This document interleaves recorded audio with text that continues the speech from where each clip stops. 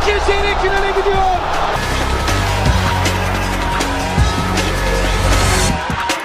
Abi kurusu ya bu ne? Ne yapıyorsun lan?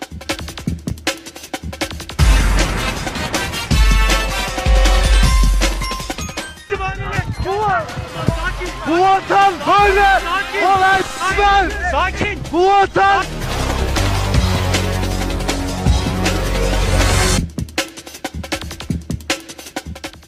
Ulan, ulan dağa çıktım.